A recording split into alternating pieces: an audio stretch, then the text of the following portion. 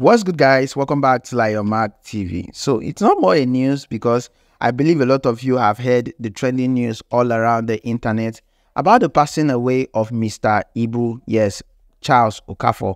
Everybody know that Mr. Ibu was a very great actor, and yes, his friends, a lot of people are actually they are really very sad.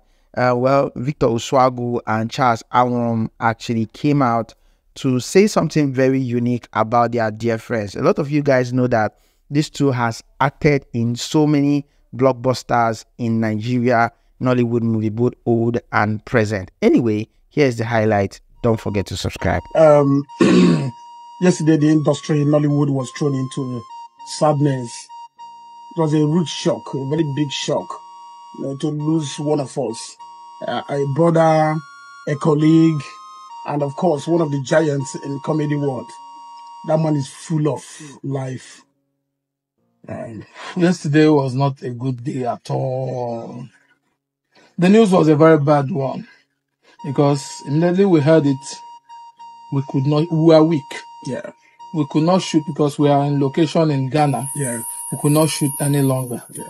That was the end of shooting for yesterday.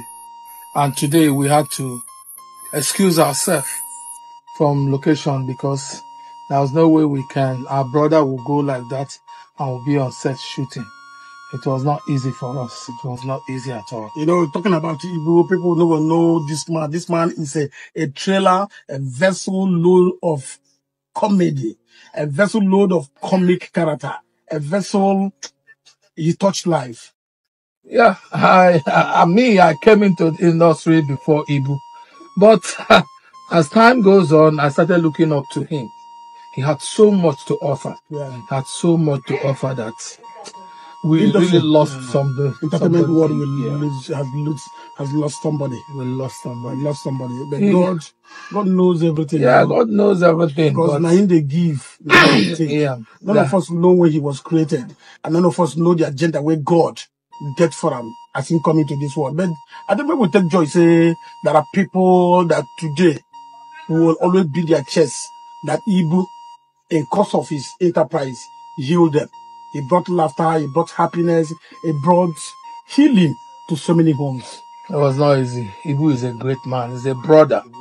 He's somebody you want to be with anytime, anywhere. He's somebody you learn so much from.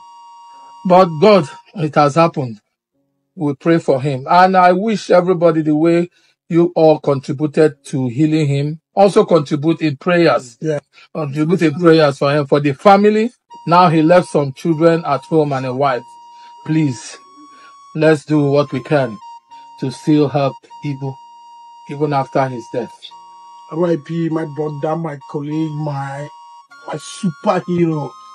Good night wherever you are. Good night. Ibu, bye bye. Good night. Take care of yourself over there.